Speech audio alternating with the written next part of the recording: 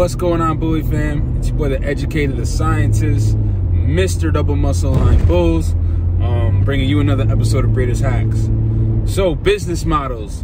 Um, did you even know there was different business models when it comes to dog breeding? Well, I figured this would be a good topic to touch on since I got a little bit of a drive, so stay tuned.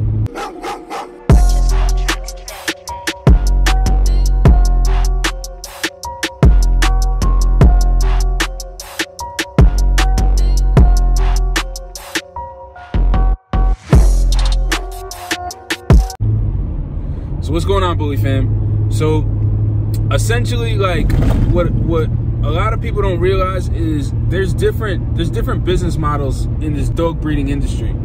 So what people don't realize is the business model that works for me may not work for you, and the business model that works for you may not work for me, or the business model that I have may work for you. You know, like there, there's so many different varieties, and, and I've come to kind of notice and, and see these things over the time, over the years, things like that. Like when it comes to the business model, maximizing your profits for your dogs, you know, getting the, the, the most that you can from your dogs.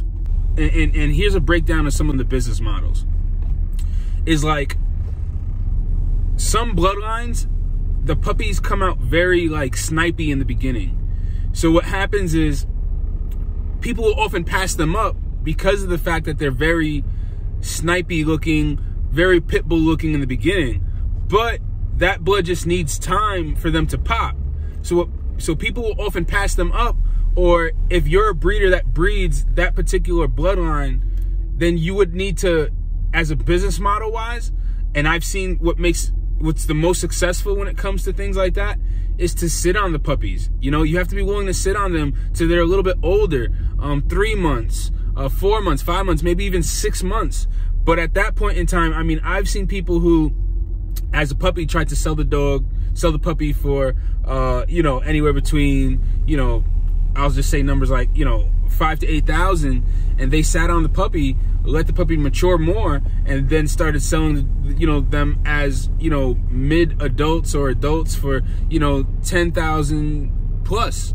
So it all depends. It all depends on your business model. And like I said, that, this is what I found that this one particular um, group was doing. I, have seen other camps do it, but like I said, this one particular group with this one particular blood, their blood takes longer to pop. So with that being said, they were smart about it. They said, you know what, we're not going to be selling puppies um, because we're going to get, uh, you know, less for the puppies. We'll wait till they mature. People will see what what they become, and and we and we sell them that way. That's a one business model that they've done that works very well for them. Another business model, right? Um, another business model is I've seen camps that I mean some of their puppies turn out absolutely phenomenal right out the gate, you know. Um, so what they tend to do is yet again they'll they'll they'll sell the puppies outright right then and there, you know. Um, so that's another business model, you know, when it comes down to like selling your puppies in your program and things like that, you know. Um, another business model, I mean, what we do here is we have, um, especially now, we have less breedings. Um, and because we have less breedings, our pups become more desirable because of that, you know, um, less puppies to sell. So the value of them goes up, you know, so you can ask more for your puppies because, um, especially if you have like, a following and you have people who are, are interested in your particular bloodline or your dogs or whatever the case may be, um, you, you can ask for more because of that, you know, um, especially when you have a really long waiting list and things like that. You know, my waiting list can be, can be up to right now. Um, we, we won't have anything available for at least like the next year, you know? So anyway, with that being said, um, you know, that's another business model as well, you know, um, Another business model is is some breeders. Um, I'm not crazy about this, but they like to have tons of litters. They'll have tons of litters, sell their puppies for a, a, a lower amount. Um, so it's really more uh, quantity than quality. You know what I'm saying? Um, and they'll just keep pumping out puppies and they just try to sell as many as they can. I'm not a big fan of that business model, but that is another business model, you know, um, that that's in this world.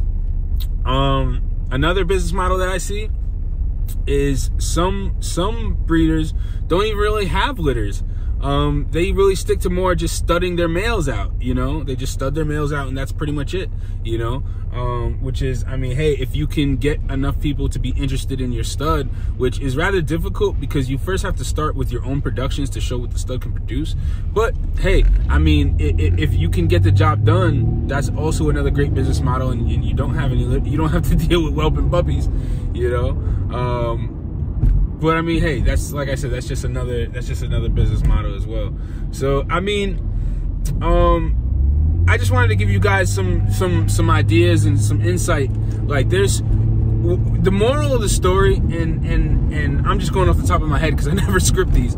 Is the moral of the story is like when you're as when you're a dog breeder, you know you got to find what fits your business model as well as as a person. You know what I'm saying? Like everybody's different. So you got to find your business model that works for you. And it may take different tries and different attempts and things like that and see see what works for you, you know? Um but like I said, you know, don't don't give up, don't stop trying, you know, um and and find, you know, the ideal business model that suits your camp.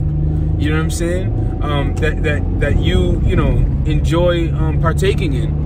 Um but yeah, like, like I pretty much said, you know, you just gotta find the business model that fits you and, and your style, you know, and in turn, um, business will be a lot better for you.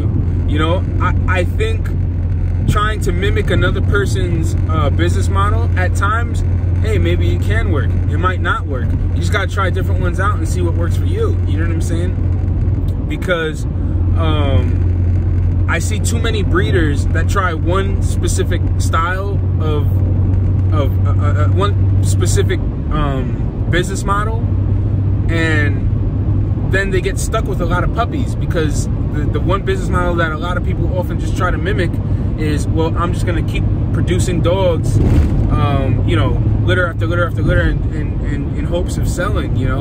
Um, but that business model may not be the best for you you know?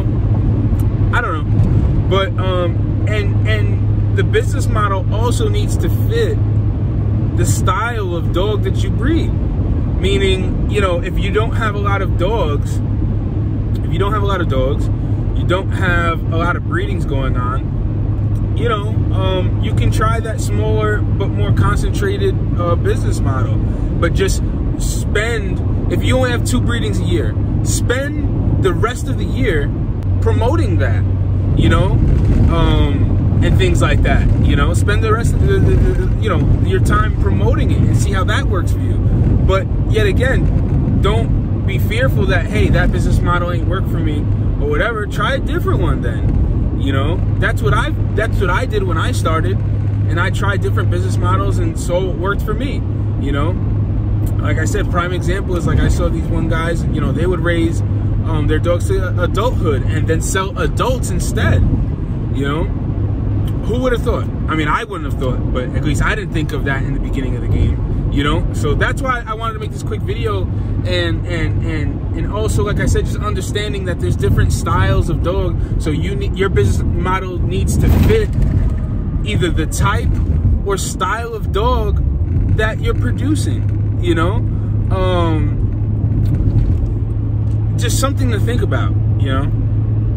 And and i'm i'm all for kind of like thinking outside of the box and and just trying different things until it works. Because all it takes is one method for it to work for you very well to be your business model for the rest of your program for the rest of your life or whatever you know? So you know that's just another thing to be mindful of is also the styles of dog. And the exotic bully world not only exotic but the French even frenchies now they got different styles. Even english bulldogs now they have different styles. You your business model has to fit the type of dog that you're you're you're breeding. Like i said just just do your homework and actually you know what? The best thing i could say the best thing i could say is look at the the kennels and camps that maybe you aspire to be in the ranks with. Look at how they conduct business as far as their business model. Don't just watch them watch how they do things you know um, watch how they conduct business watch how many litters they have a year things like that and um, not only that but what's so great about like instagram and facebook and things like that is now you can actually go back and look at well how did they do things a year ago how did they do things two years from ago go back on their feed and look you know, even on YouTube, you go back on their YouTube channel and look. You know what I'm saying? And and do your homework and, and see how look at what their recipe to success was. And it's as simple as that, you know? So hope this was helpful. Hope it was useful. Um, it sounded pretty helpful and useful in my head. So um, all right, guys. I'll see you guys on the next episode of Breeders Hacks.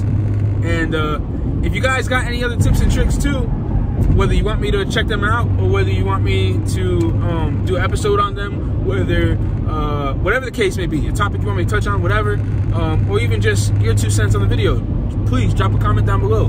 So, all right, guys, I gotta go. See you guys in the next episode of Breeders Hacks.